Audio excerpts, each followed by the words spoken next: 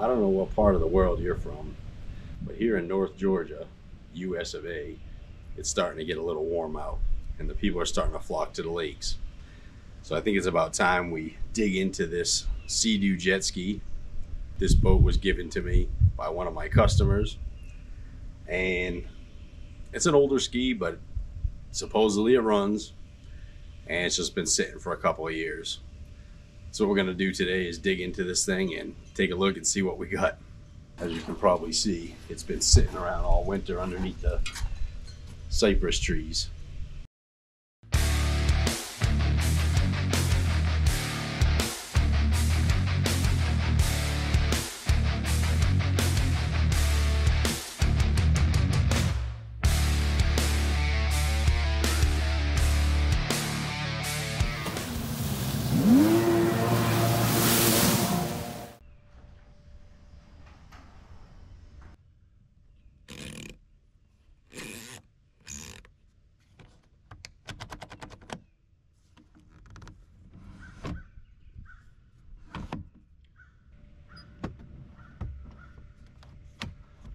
The controls are working nice and free. I like that.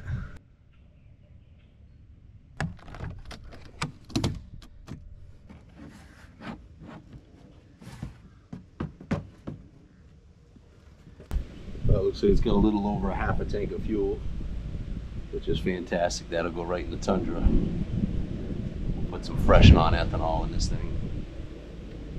I think before I do anything, first things first, let's get it cleaned up.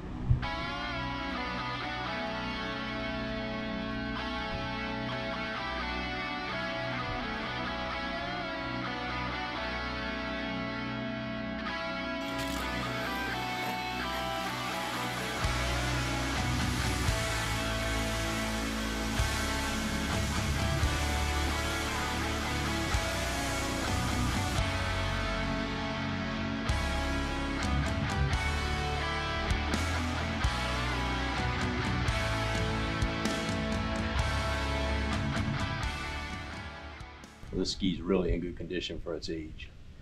Uh, granted, it's going to need a polish and a wax. The gel coat is a little dusty looking. So before I go any further on this, uh, I'm going to do a compression test. I just want to see what kind of condition this engine is in. Always want to remember to ground these out on this little tab behind the engine. And the reason I want to do that is so that there's no backfeed of the electrical current back into the CDI unit, which could cause damage to it.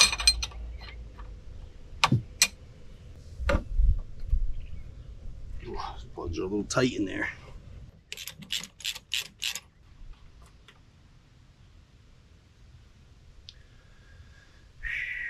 Got a little rust in there.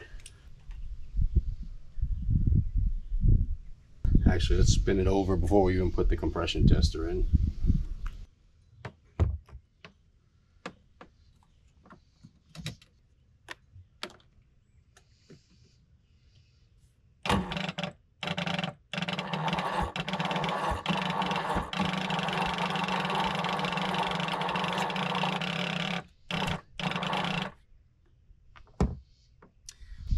Battery's just too dead.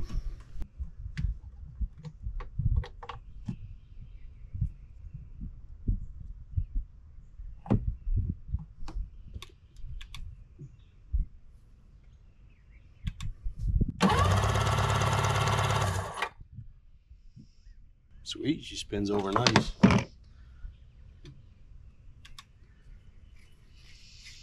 think I need time for a new jump box.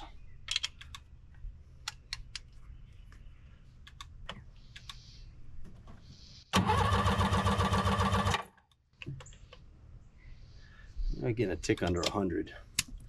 That's not great. But much better than zero.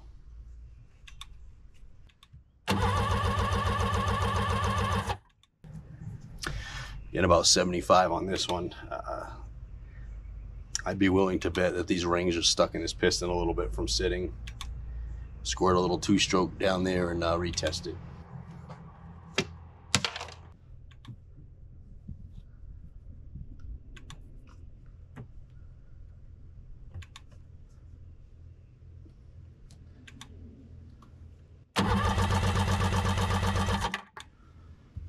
That cylinder up to about 125, so that's fantastic news. This is the rings are sticking a little bit. I'm gonna squeeze a little non-ethanol fuel mixed with two cycle oil.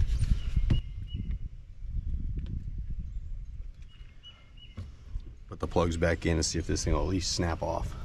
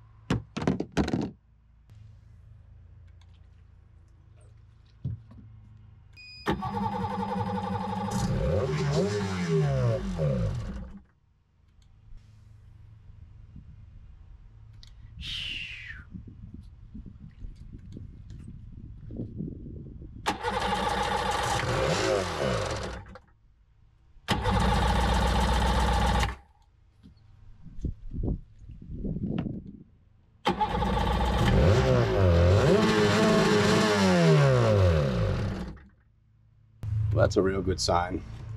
Uh, get into getting this fuel system cleaned out. We know we got a good ignition system. Uh, engine seems to be fairly solid. So this may be an easy fix. Let's get this tank drained and see what we got in there. If we got water or varnish, whatever.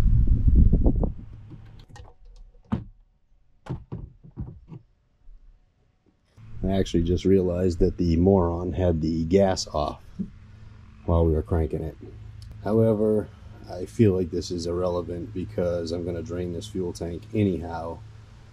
And then we'll put some fresh gas and try it again. And then we'll see if we have to rip into the carburetors.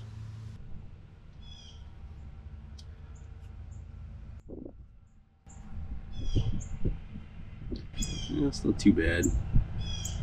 We'll spray that out a little bit. So, you know, I should be a little bit more conscientious of the fuel being off. I've actually had customers bring me bikes where they were literally out of fuel. That was all that was wrong with it. They didn't even check the gas tank. You know, of course I charged them for a full engine rebuild. But, you know, you gotta teach them a lesson. Ugh. You're gonna fight me, isn't you?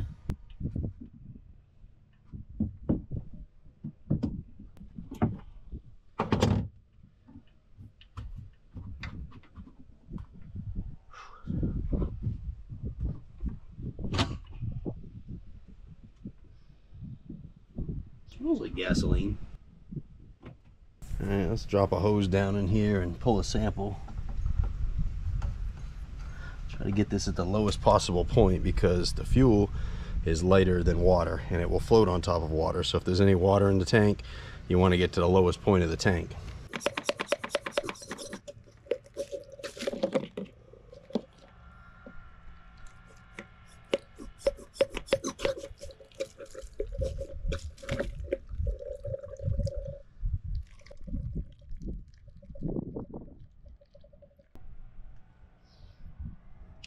That's not too terribly bad.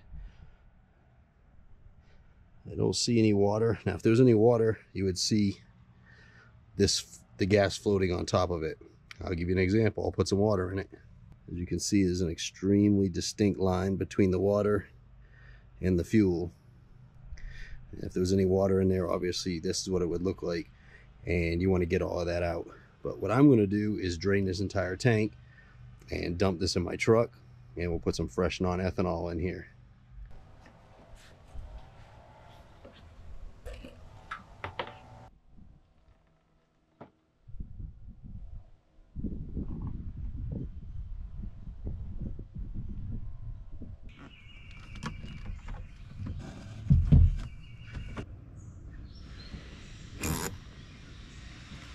All right, let's give this a shot. I know it's going to take a little bit to get the gas up to the carburetor.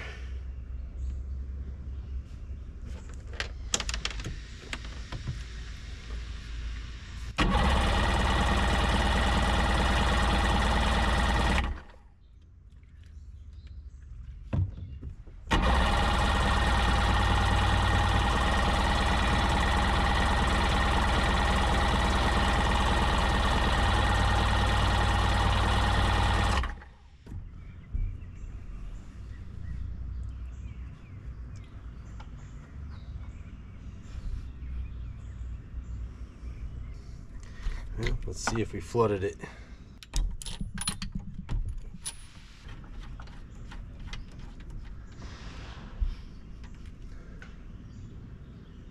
Yeah, she's a little soggy.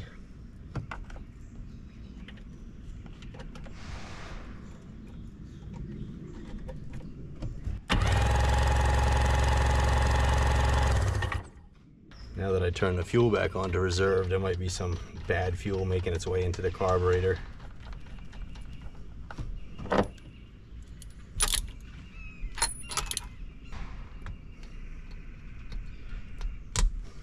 Try this again.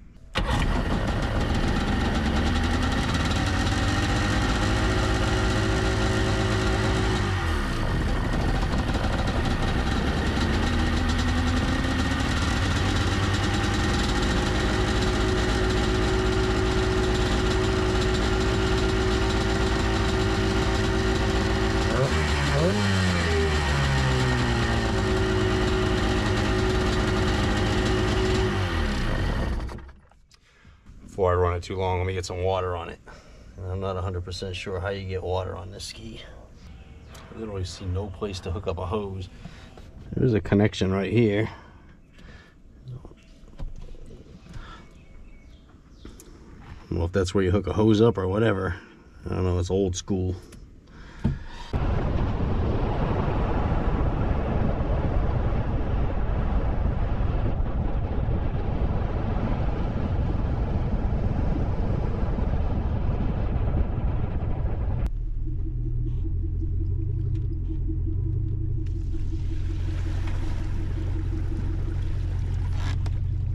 Water's a little cold. Got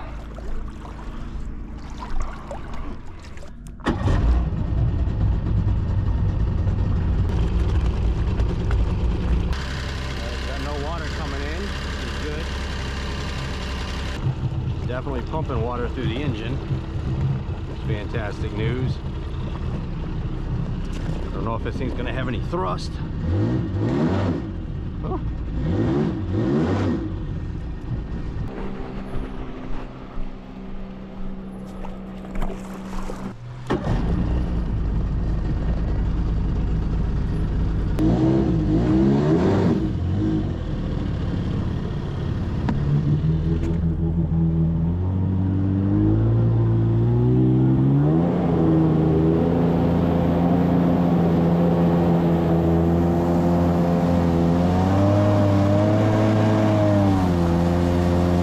Oh, it's going. It certainly ain't the fastest jet ski in the world.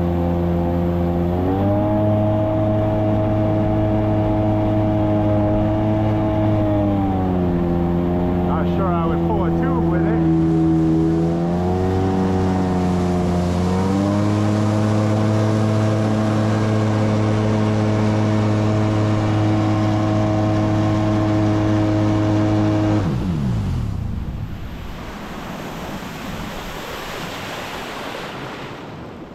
Oh, I pulled the cord out somehow. It's weird. How did I do that? So, alright, so one thing I'm noticing straight away is this thing is cavitating right out of the hole. In other words, the water is bypassing the impeller rather than shooting out the back. And what causes this generally is a blockage in the um, water intake system, or more than likely, it's a sea-doo. The wear ring is bad on this. The wear ring is a plastic ring that goes in the jet pump that keeps a tight tolerance to the impeller that forces the water straight out the back. Um, guaranteed that's going to be the issue with this. They're very common and fairly easy to do. But the ski actually runs very well, and that's why it's not getting a lot of up on. That's why it's not getting up on a plane real fast and real easy because it's cavitating. And you can hear when I rev this thing out, it immediately goes onto the rev limiter. So it's it's not pumping or pushing the water like it's supposed to. If I go slow, it's probably not bad.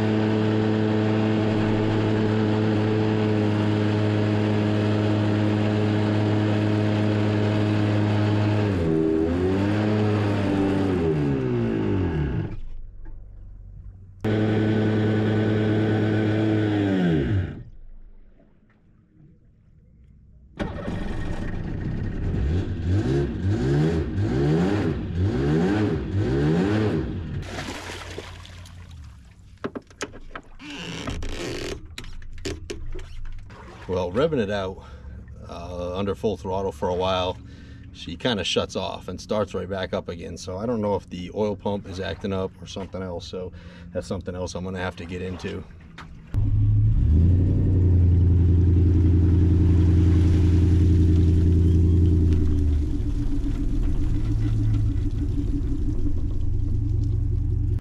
All right, now back at the house. I'm going to take a look and see what's going on with this. Uh, at the lake, it shut off on me a couple times. The only way I was able to get back to shore was to just idle it in. It almost sounds like it just locks up, but she cranks right away and starts right back up again with no issue. I'm going to check the oil feed on this and make sure that filter is clean. We may have to get into the pump, and also we're going to pull this jet pump out and take a look at the sleeve and get that replaced. Well, we're gonna work sort of in the garage today. There's more rain coming in. So first things I'm gonna do here is get our jet nozzle our steering nozzle off. And that's right here, 10 millimeter. Also, we're gonna get our reverse bucket disconnected from the cable. That's also a 10 millimeter.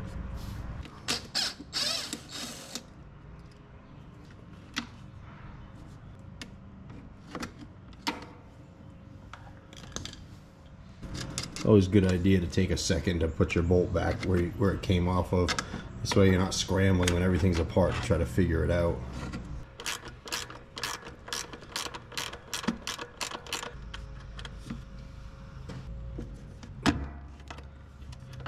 On either side of this assembly there's a heavy spring that we have to take off and this is what holds this rear bucket up and you can use a spring hook or just grab them with a pair of pliers if you can. It's kind of a tough spot to get in.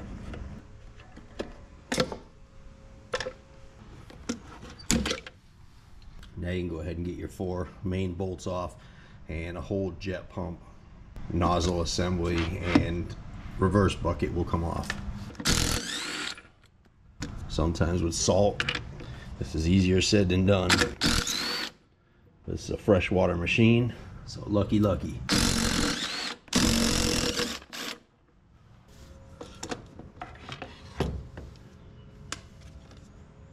So on the back of the nozzle here, there are two ports, and they also go into the jet pump. What these two ports are, as, as this jet assembly, because it goes from bigger to smaller, the pressure actually increases in here, and it will force water into this port in here up and that's how it feeds the engine with cooling water. The second one if you notice has a longer tube. This gets out of that pressure port because it's in the smaller section and that creates an actual vacuum as the water rushes by. And what that's for is your bilge pump. So as the water rushes by it creates a suction. The hose runs inside your hull and there's a little pickup screen there that sucks the water out of the hull when you're under under um, motion. So on camera, I'm not 100% sure how well this is going to show up, but this is the root of our propulsion problem. Uh, if you see the impeller, which is the silver piece right here, and our wear rings on the inside, there's a huge, huge gap. That's supposed to be about a millimeter, and that's probably about three millimeters, and it's very common on these Sea-Doos. Uh, these are plastic wear ring and that wear ring wears as sand and debris or anything else runs through it. And that's what it's made to do. So they're fairly easy to replace. I'm going to go ahead and pull the rest of this jet pump off. And that's done by removing the last four bolts.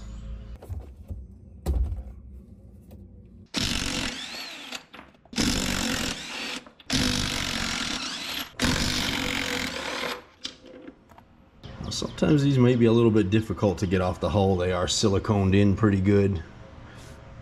I'm gonna try and get in there with this angleable pry bar, but if that doesn't work, we'll have to take the ride plate off and we should be able to get up there and just kind of maneuver it out with some tool, screwdriver or something.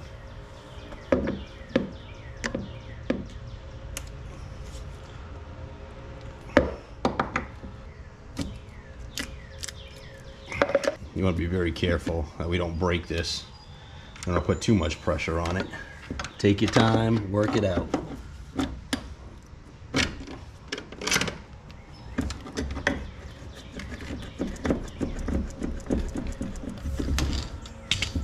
So it feels pretty loose. There is a chance that your drive shaft could be stuck in the impeller as well.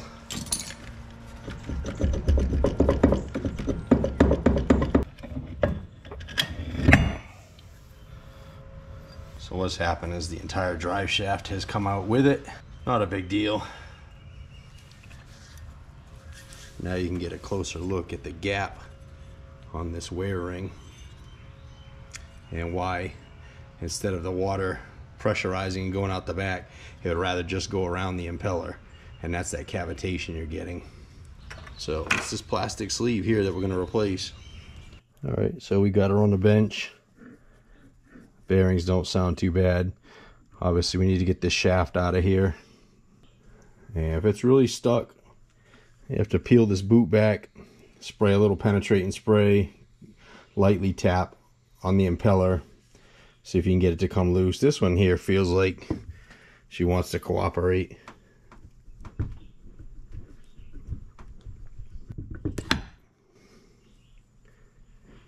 So there we have it looks pretty good. We'll clean all this up and we'll put some marine grease back on it when we put it together. But the way I want to put this together is get this back in the engine side first. And then when we put the jet pump back on we'll just slide it back on here. So just to give you a reference uh, this feeler gauge is 0.9 of a millimeter. I don't have a one millimeter but it's really negligibly larger than this. And that's the the width of the gap that's supposed to be around here now if you take your time and work on this inner sleeve you can take this out and replace it without pulling the impeller off however I want to pull the impeller off because I'm going to do a service on this rear bearing and check all the seals and the bearings inside to make sure that they're okay.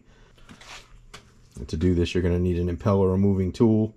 You can pick these up off the Jungle website or the auction website or just about anywhere on the internet.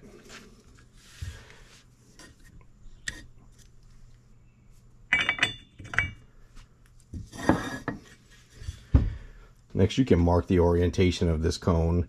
It's not really necessary if you, as long as you remember that the fill and drain plug points sort of to the top. Now we're going to pull this off, and this is gear lube in here, and this stuff stinks.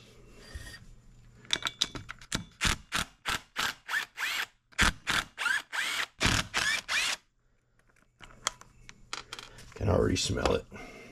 There's an O-ring in here and this thing is plastic, so you just want to be gentle with it.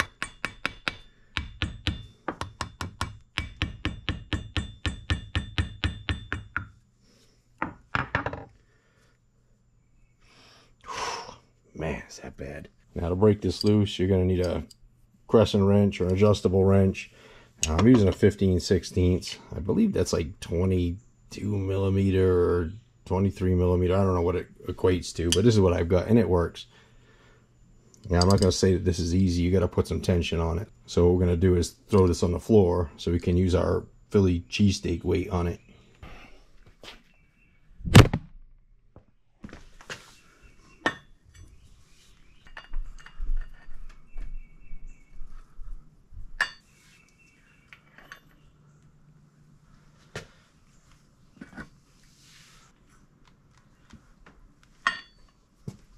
That wasn't so bad. Some of these are real tight.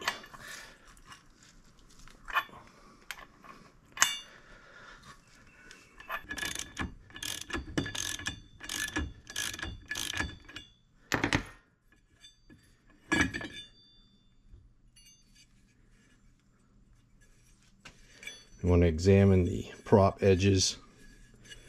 Make sure there's no major gouges. You're going to always have a little bit of wear on your leading edge it's pretty common as it chops through the water and hits sticks and rocks and fish and people. You know it's going to put some marks on it.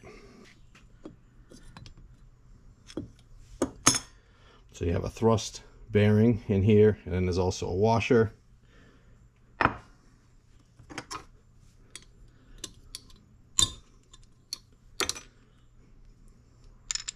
Take all this stuff, clean everything up in here real, real good with some acetone. You have a bearing on the outside and you have a bearing on the inside and then you also have a seal. It's always a good idea to go ahead and replace the seal. So I'm going to order one of these as well. I just did one of these jet pumps, a couple of these jet pumps on a Sea-Doo boat that I picked up and I'm not sure if that video is going to come out before this one or not but I learned my lesson about not ordering the seals ahead of time. So next thing I want to do is get this sleeve out of here. And you can get in here and chisel away at it. Try to break it with a screwdriver. This one's real thin. What I'm going to use is a Dremel tool to cut a couple of slots in this and it falls right out. So what I've got here is just a high-speed rotary tool. And the bit I've got here is a like drywall cutting bit and it works really good on this now there's you can see the thickness of the sleeve and we don't want to cut it any further than that. We don't really want to cut into this housing. I mean if you put a couple little scratches into it or small gouges it's not going to be a big deal but you don't want to come out the other side so don't keep grinding. Get the safety glasses on. I call it safety glasses, but it's just technically I can't see, so I have to use glasses.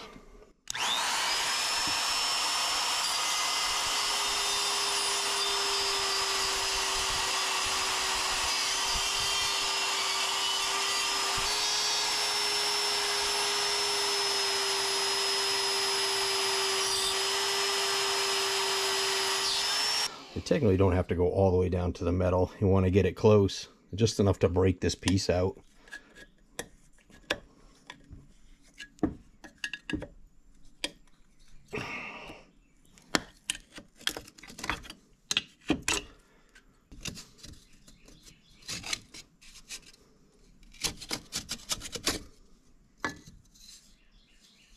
Now you can get in here and try to pry this out.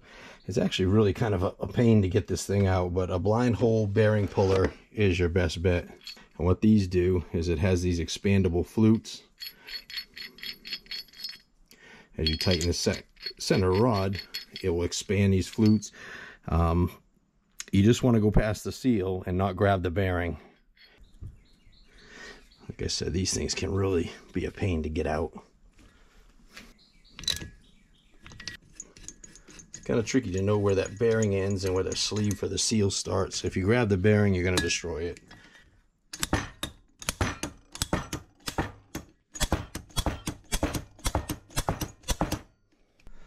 Sometimes it's better to work with gravity.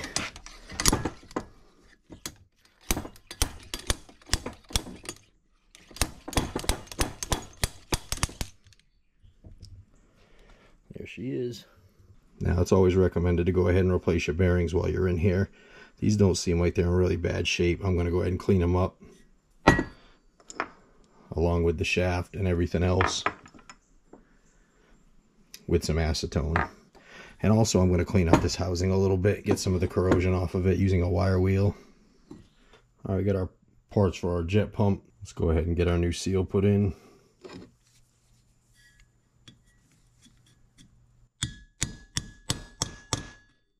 Got this housing cleaned up as best as I could. Now, obviously, if you had a sandblaster or something, that would be fantastic. Go ahead and clean it all up real good. Repaint it or powder coat it. I'm not too, too worried about it. I just wanted to get a lot of the corrosion out of this area here. Now I'm going to go ahead and grab my sleeve, which I threw in the freezer a couple hours ago. The cold will shrink the sleeve and make it slightly easier to put in.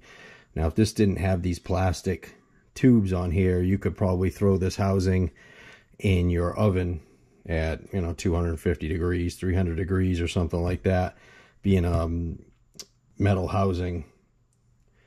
And that would expand this and still make it easier to put this together.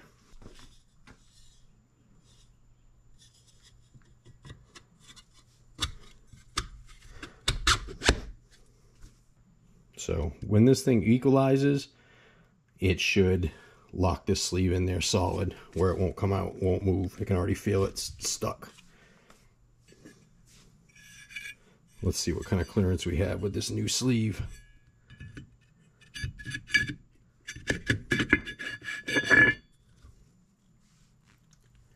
Look at that.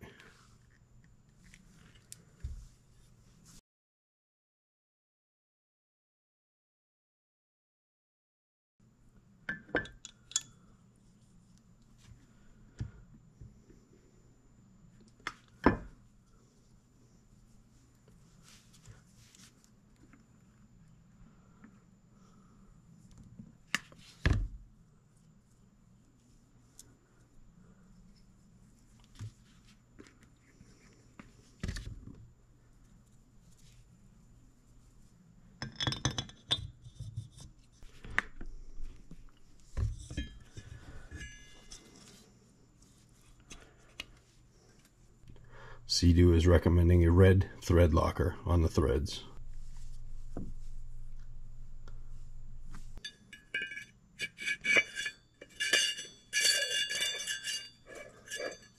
Now go ahead and torque this nut to 52 foot-pounds.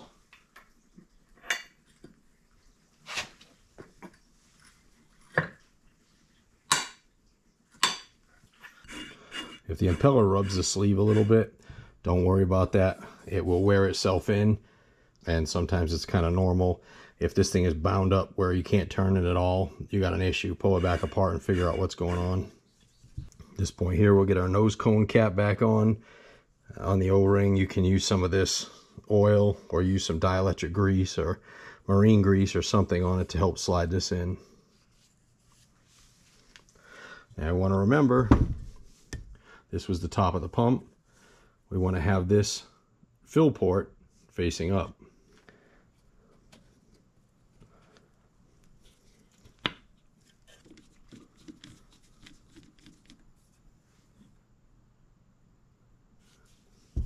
Gonna fill it, wiggle it around a little bit, rotate the prop, just keep topping it off until it's full, or at least at the bottom of the hole where the threads are.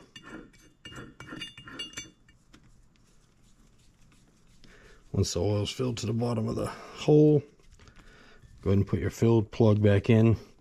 Now this has got tension on it. You don't need to crank it. It won't bottom out. So you just want to tighten it down until it's just about even with the plastic and it will not back out.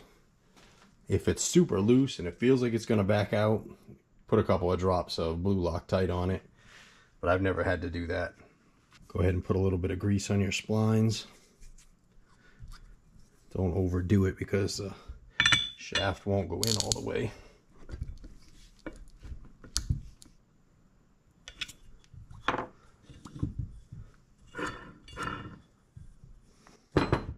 So at this point, this pump is rebuilt.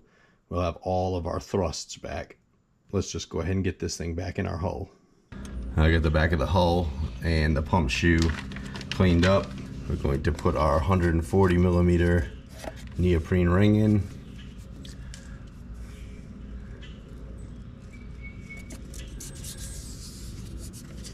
Now this particular model, where the water lines go through, there's no seal. So what we need to do is just slather this up with some of this RTV.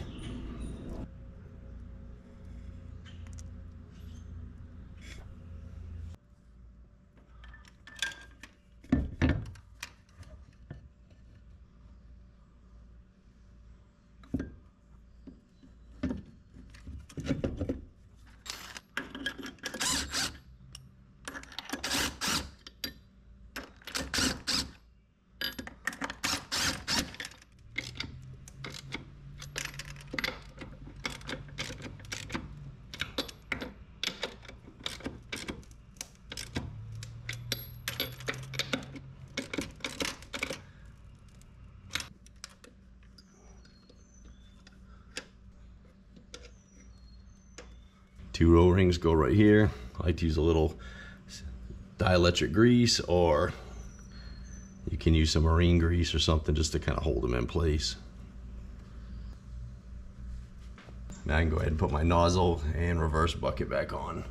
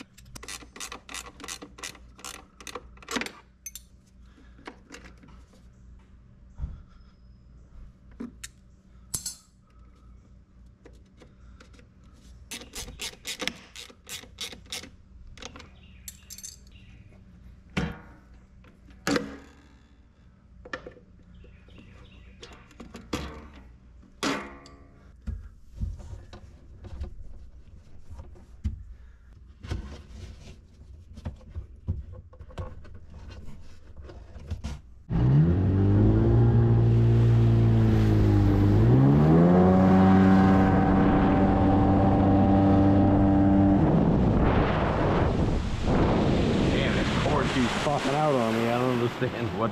I'll have to change that switch out. But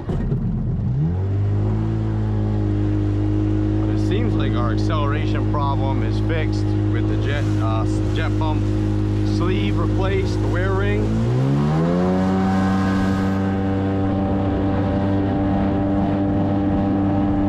While I was shutting down, um, I started to think that I was having some sort of an issue with a fuel delivery problem, uh, creating a vacuum in the tank or something and not allowing the fuel to draw in. Um, I don't find any problems with that.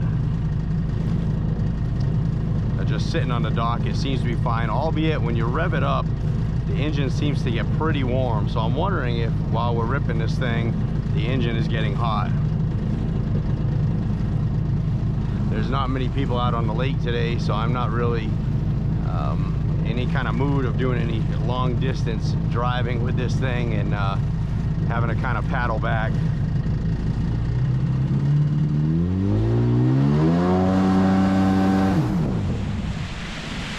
And maybe it's just the switch that's causing the problem. I don't know. It's frustrating.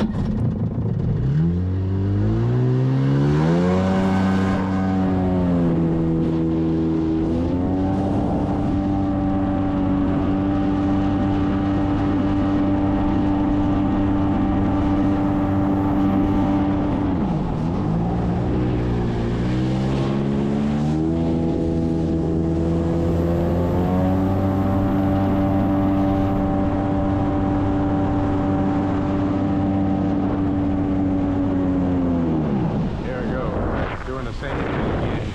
Let me check this motor and see if it's hot.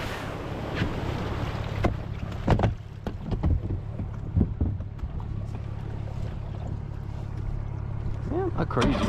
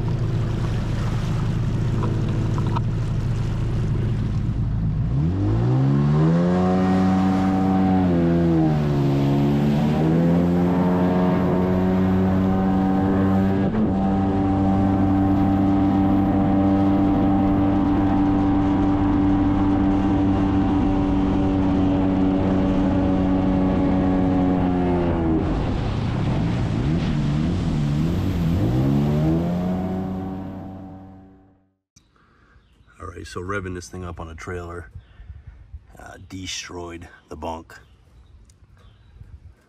And I was able to just kind of stick these in there to keep the supports from digging into the fiberglass, but we're gonna have to replace them. Let's head off to our local home improvement box store.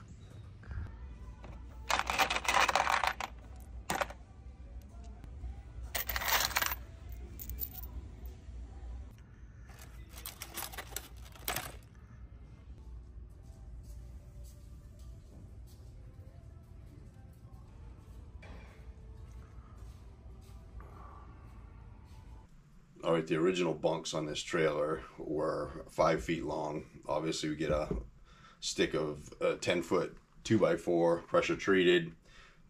Cut that right down the middle. I also got this PVC. I like using this instead of carpet for the top of the bunks. Super glidey. Just got to be careful if you unhook the ski backing it down because it go without your uh, approval right into the water and this was a 10 foot stick as well which i cut in half. So what i'm going to do is prep these to be installed on our boards and then once we get the ski back in the lake or i can get it off the trailer we'll go ahead and replace the bunks out there. I'll just bring everything that i needed to. So i've got some uh, i think they're number 10 yeah number 10 by inch and a half stainless steel screws and we're going to put eight of them in each board. So first thing I'm going to do is get these set up and drill out for our eight screws.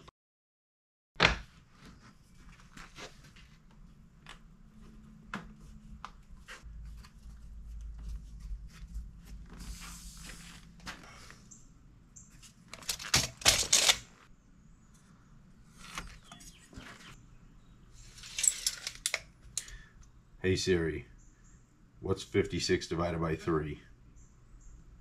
56 divided by 3 is approximately 18.6 18.66666.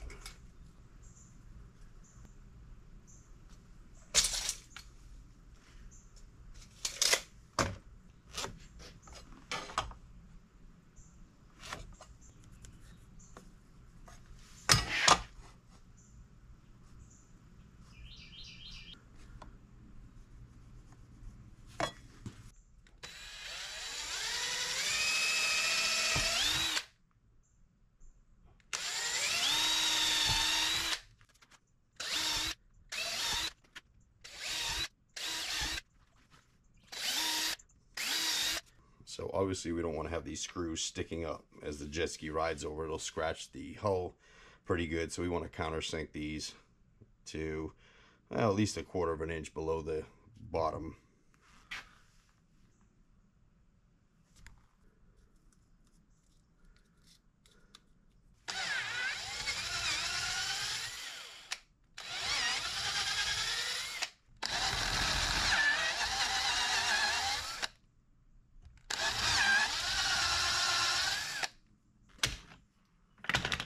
So we'll obviously have to countersink both of them.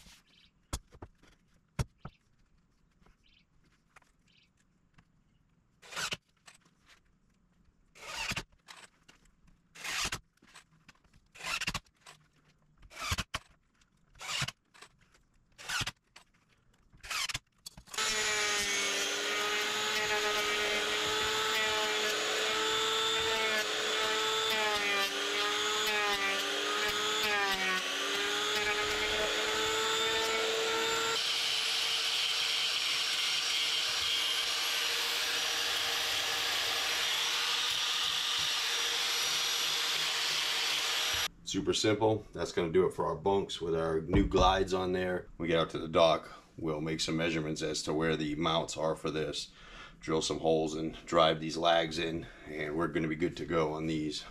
All right, so we're getting back on the diagnostics of the stalling issue, and I think I found my problem.